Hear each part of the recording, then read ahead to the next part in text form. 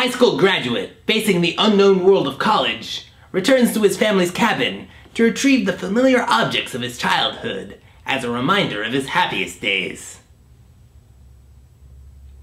However, upon his arrival, the items are missing, most likely stolen. So he settles for salvaging scrap from a junkyard where, to his surprise, he finds the items he had been looking for. I just described the events of the brave little toaster. But we don't see the story from the young man's point of view. We see it from the perspective of the appliances, the mundane, everyday objects. This is their story. The Brave Little Toaster is not at all an obscure film. Everybody's seen it. It even has a bit of a cult following. And probably an actual religious cult following somewhere in Russia. Huh. But if it doesn't match my criteria, then why am I talking about it? Because I think it's a bit underappreciated. Most people see it in passing, not really paying close attention to the media that they are absorbing, even though Toaster tends to receive positive reviews from critics and casual moviegoers alike. But I'm gonna take it a step farther. I want to argue that this is one of the best animated, no, one of the best films ever made. Today, I'm gonna talk about one of my favorite cartoons and finally answer the question we've all been asking ourselves. Oh, what were these guys smoking when they thought of this one? The answer might surprise you. I've been in this town so long and back in the city I've been taken for a larceny gun and I know for a long, long time. One day, Thomas F. Disch woke up and said, Ah, fuck it, I'm gonna write a children's book. And voila! The Brave Little Toaster appeared in the magazine of fantasy and science fiction in 1980. Written as a children's fable, but intended for an adult audience, the critics regarded Disch's novella as absolutely dishlicious. Two years later, Disney bought the rights to the film and put it under the care of some filmmaker. It was, uh, oh yeah, John Lasseter. And yes, this is the project that got Lasseter fired from Disney. Fresh from working on Tron, Lasseter and his colleagues became intrigued with the idea of overlaying hand-drawn characters on computer-generated backgrounds. They tested this method with Where the Wild Things Are, and then approached the studio with their mad plan. The only problem? The film would cost millions and millions of dollars. So Lasseter was canned, and the movie was moved to Hyperion Studios as an independent production under a new director. Lasseter's pocket-sized pal, Jerry Rees. Rees and company had little to work with in terms of plot or character, so the whole thing had to be built from the ground up. In the span of about four weeks. Now despite the rush, I gotta say that these are some of the most lively and vibrant characters ever put to screen. Which is especially impressive when you consider they're all inanimate objects. What makes these characters work so well anyways? For a start, the appliances all have their own physics and locomotion, making the believability of this universe a bit more attainable. And this is a movie universe that requires a lot of suspension of disbelief. Where are their cords half the time? Just answer me that. But who cares about physics or engineering or proper spelling? That's how you spell available, right? Now, this is a movie about character development. There is a specific chemistry to these characters. To understand the members of this capacitor crucible situation, I like to think of them as representing the Kubler-Ross five stages of grief. Denial. I guess we can assume that it wasn't him, right? Anger. So just back off. Bargaining. I'll do anything. Bread. I can get you bread. Depression. I don't like to work without the master. And acceptance. We're going out to find him. Because, you know, the story wasn't depressing enough without me adding that layer of melancholy. And man, is this melancholy. Our gang faces abandonment and obsolescence, which, in their case, I assumed to mean death. Sure, they could wait around for a new master to buy their cabin and make use of them, but they like their old guy and they're not ready to move on. Hence, the Kubler Ross thing I brought up. However, none of this would shine without the snappy dialogue. The five protagonists bounce dialogue off each other faster than a bullet ricocheting in a metallic room. Such deliveries require just the right talent. Jerry Rees approached regular voice actors for this film, but supposedly the read-through sounded terrible. So he went to legendary improv group The Groundlings and recruited a few actors for the film. Add a little Thurl Ravenscroft into the mix and they're great!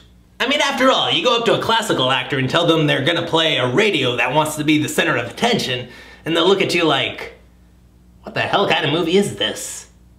But you go up to an improvisational actor and tell them they'll be playing a lamp that thinks it's smarter than it is, and they'll be like, okay, now give me a setting. Two of the actors were then little known names Jon Lovitz and the late Phil Hartman.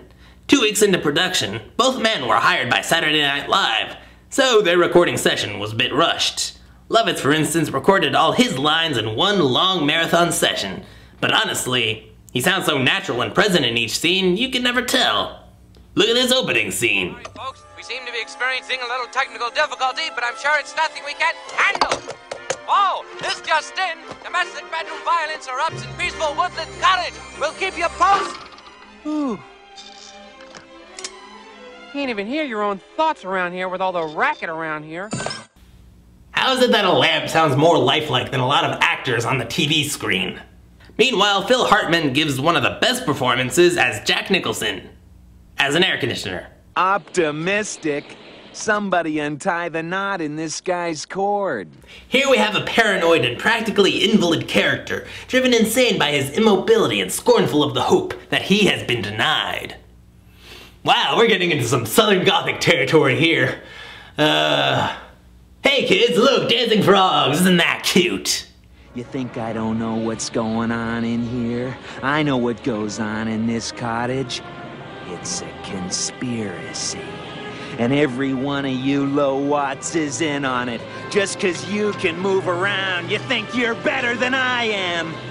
We witness the air conditioner grow from petty cynic to full blown psycho until he eventually, metaphorically, explodes literally. And no, despite what the almighty internet says, the air conditioner does not commit suicide. He has a heart attack. Circuit attack. Whatever attack. To which Kirby has the best response. I didn't know he'd take it so hard. Well, he was a jerk anyway. Shit, that is one stone cold vacuum. As for the plot, well, what can I say about the plot? It's the Odyssey. Like the Odyssey. Not a direct adaptation or anything, but, you know, the structure is there. Our heroes start on the Trojan shores and set sail across the green pastures of a brave new world with hope in their hearts.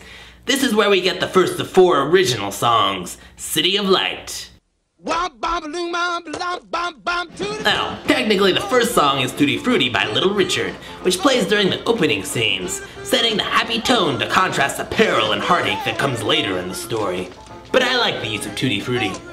More animated films need to utilize the classics. That's what makes them classic. I would have enjoyed Brave more if it had like a Fats Domino montage. That wouldn't have seemed out of place at all now, wouldn't? Life is like a journey on a road that's within. Head says you should stay, but your heart says to begin. So But City of Lights is a nice enough song, utilizing the best of Baroque pop music. It was written by legendary songster Van Dyke Parks. Who is Van Dyke Parks, you ask, you uncultured swine? Well, listening to this song, is it any surprise that he was one of the collaborators on Brian Wilson's mythical album Smile? Listen to those pastoral strings. I used to not like this song as a kid, but now I have a better appreciation for it. It's corny as hell, but lovably so. And speaking of music, composer David Newman deserves some credit for creating a hugely underrated cinematic score. Just listen as the poppy spirited song dissolves into an ominous orchestration of foreboding.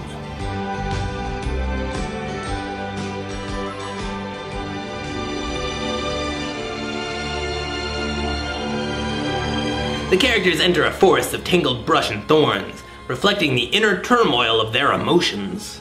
It's a tense scene, and a tense night. Then out of nowhere, dancing frogs! This whole section feels like it's from another movie, a Lost Silly Symphony. Our mighty heroes have reached the Lotus Eaters, a natural world that promises happiness, joy, and pleasure. But as time goes on, we realize that our appliances aren't meant for this garden of e-works, and so they continue with their journey. But this is also where the most infamous scene in the film occurs. The flower.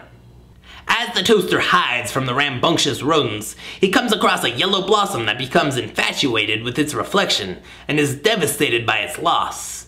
This is a big turning point for the toaster. He realizes that he can't help everyone, particularly those under the spell of a delusion. However, he tries harder to save those that he can. The blanket, for instance, who he had formerly thrown under the rug. Blanket rug, you know what I'm saying. The flower is a narcissist, and literally a narcissus, and no happiness will come to those who think of only themselves, foreshadowing the film's climactic finale. After seeing that, I doubt anyone can argue against this being an art film.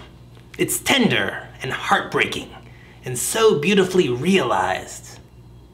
Now, how many children does this scene traumatize for life? Let's go to the counter.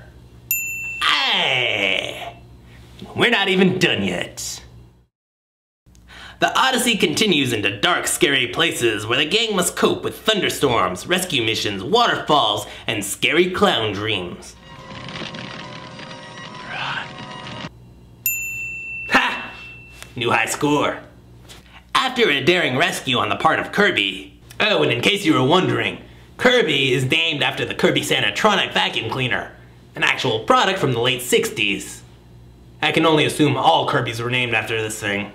But anyways, after a daring rescue, our heroes fall to their lowest point and enter a proverbial hell via this marsh. See, the mud is the portal to the underworld, where they are accosted by what appears to be a sentient jelly bean who goes by the name Elmo St. Peter. That's right, he's named after the gatekeeper of heaven. Elmo. I mean, St. Peter. Just as Odysseus and Aeneas entered the land of the dead, so too does our crew of appliances enter a back room of the damned.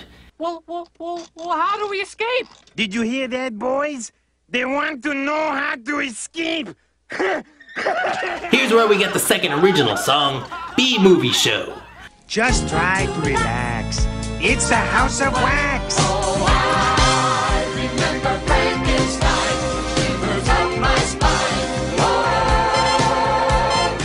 With horror movie homage after homage, this is a fun theatrical song that reinvigorates the viewer after the gloomiest point in the story.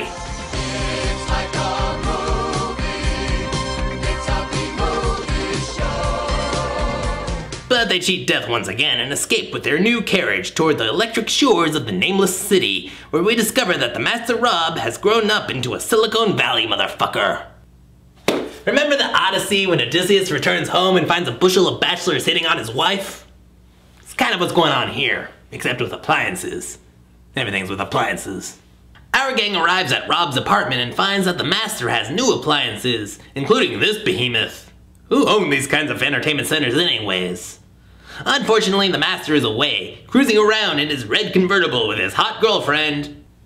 I'm starting to hate this guy. We are on the cutting edge of technology. Ah, now it's time for the most ruthlessly 80s song of the soundtrack. It would be so bold to you as and no one told you. Let us take you to the cutting edge. Cutting Edge, where all the appliances brag about how edgy and innovative they are, and telephone, why are you singing about being cutting edge? You're an older invention than all the other appliances. So the cottage has an old-fashioned black and white TV, but no telephone? Man, this vacation sucks. I wanna go home, play my ColecoVision. Let me tell you what it's for. Here's the printout, here's the stuff. Get your copy, get your The song seems horribly cheesy and dated nowadays, but you had to have been in the 80s. At the time, the bleeps and bloops and voice filters were, well, cutting edge. And how appropriate that a song about technology would be the one to age horribly, just as all these machines have been obsolete for decades. Live fast, die young, I guess. And more. After the finale, our heroes get cast out to the land of forgotten souls, Hades, D's, the dump. In this valley of death, we get the final and most remembered song, Worthless. Wow, I barely even said anything. Can't take this kind of pressure. I must confess, one more dusty road would be just a road too long. In case you've never heard Worthless, the lyrics are performed by various cars who reflect on their lives right before. Yeah. It's at this point in the film that you know for a fact that the filmmakers ain't fucking around. Death is a major part of life, and they give it the acknowledgement it deserves. Of all the songs, this is the most respectable, as well as the most harrowing. However, the song is broken up by these TV segments, used to lighten the mood and keep the sequence from being overwhelmingly dismal. Of, of total bargain madness!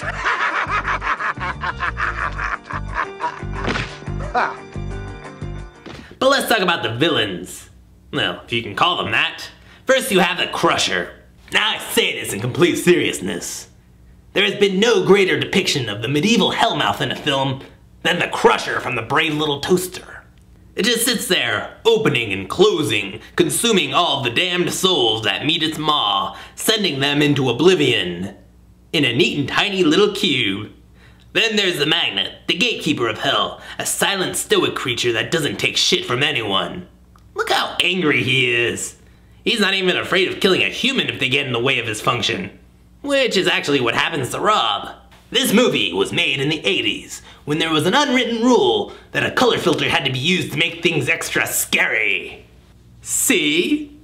The toaster escapes the conveyor belt and climbs atop a pile of cars that we can assume are just corpses since they aren't responding. That's grim. You can say that none of the cars in the song attempted to escape because they felt hopeless, worthless, but the toaster saw the master and felt optimistic once again. His love and devotion will lead him to do crazy things, such as diving into the gears of the infernal machine. And that's something that's always struck me as unique about this film. The brave little toaster ends with the hero sacrificing himself for his friends, which is a stark contrast to the numerous Disney and Disney-esque films that would follow, where the climax is resolved by the death of the villain. I always found something more endearing about Toaster's end. He gives his life, and is gifted with some great reward. Available now on compact disc. It's the kind of selfless act you could really make a religion out of. In the name of the Father, the Son, and the Holy Toast. Amen. The Brave Little Toaster was a real work of love for director Jerry Rees and company. They went so far as traveling to Taiwan for six months to supervise the animation, a thing rarely done in overseas productions. When the film was completed, it was shown at the Sundance Film Festival. Let me repeat that. The Sun Dances with Fucking Pretentious Film Snob People Festival. And you know what? It got rave reviews from the judges. Though it did not win anything, many festival judges would later comment that they were worried the validity of Sundance would be diminished if this little children's cartoon beat out such masterpieces like Rob Nilsson's Heat and Sunlight, which boasts a 47% on Rotten Tomatoes. It's a conspiracy. Oh, and Disney almost screwed this movie over completely. Disney had long had rights over the film, but they opted out of a theatrical release and instead gave Toaster a Disney Channel premiere. Rees and company were dismayed and believed the project had met the fate of obscurity. After all, who watches that newfangled Disney Channel anyways? Remember, the Disney Channel was a little different back then. Less high school musical, more high school teacher awards. So it seemed all the hard work had been for nothing. Fast forward to several years later, Rees started noticing children's drawings in schools or in his colleagues' offices. Some of the characters looked really familiar. A little blue box with a smiling face. That's when he learned that all the hard work had finally paid off. He'd found his audience. Oh, and the VHS sold a lot of copies, so there's that too. And now I want to answer the question that I posed earlier. What were these guys smoking when they thought of this one? Creativity. They were high on creativity, and a little hash to get started, but mostly creativity. An animated film that appealed to all age ranges had not been accomplished since the golden days of Disney. You had the ultra child-friendly films of Don Bluth, the adult-oriented sex fest of Ralph Bakshi, and Disney, no, seemed to be in the gutters. A lot of people credit The Little Mermaid and Roger Rabbit with revitalizing the animation industry, but who knows? Perhaps if Disney executives hadn't noticed the appeal of Little Toaster, then Little Mermaid might not have been made. And that would have been a little disappointing. The Brave Little Toaster is a film that has it all. Child appeal, adult appeal, comedy, drama, suspense, coming of age, satire, adventure, and catchy, catchy music. It's an art film, a musical, a character drama, a road trip, a buddy comedy, a horror movie, an incredible journey, and definitely a film that can be seen again and again. I think what some people find so unsettling about this film is that it makes us take into account all the little things in our lives. This camera, for instance. It doesn't work, but I've had it all my life. It doesn't even have a backstory, it's just always been there. And I can't seem to get rid of it. There exists ancient Japanese folklore about yokai, which are spirits or ghosts or whatever you want to call them. The word derives from the kanji for otherworldly and weird. One certain type of yokai is called the Tsukumogami, which refers to a household object that has gained a soul on its 100th birthday. That's why you'll often see Japanese prints with a living umbrella or lantern. You gotta imagine, with that kind of folklore, somewhere along the line, someone wrote a story called The Brave Little Sake Jar. The origins of the Tsukumogami tales are a bit clouded, but considering it is part of the Shingon Buddhism, I can assume the legends were formed to warn against wastefulness, to teach people to cherish the objects they own, rather than covet the things they don't. A good lesson for 1980s America, wouldn't you say? And that seems to be the effect of the brave little toaster. Kids grew up with a sense that their items have feelings, but that obsolescence is part of the cycle. Love what you own while you own it. After all, you don't want to create a generation of hoarders. Or do you? But just like Odysseus after his homecoming, the toaster wasn't done. He set off on new adventures to save animals and to travel to Mars in the two sequel films. But those are fucking awful. We're gonna ignore those. For now.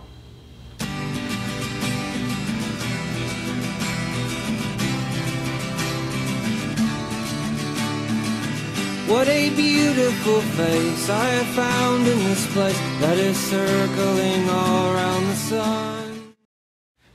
Trivia time! Director Jerry Reese, along with classmates John Lasseter and Brad Bird, went to Cal Arts, which is located on McBean Parkway, 2470 McBean Parkway. where they had class in room A113. A113. This is it. Your knowledge has been enriched. In the name of the Father, the Son, the brother, the sister, the daughter, the sister, the daughter, my sister, my daughter, my sister, my daughter, my sister, my daughter, my sister, and my daughter, and the Holy Toast. Amen.